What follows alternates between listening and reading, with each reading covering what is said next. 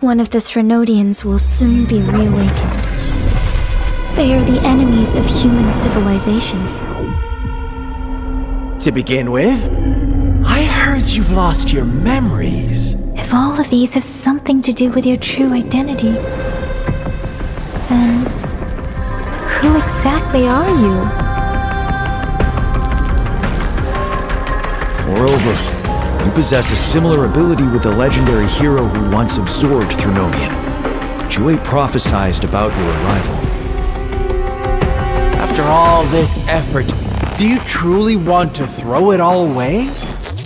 Ultimately, I suppose it is up to you to discover the final definitive answer for yourself.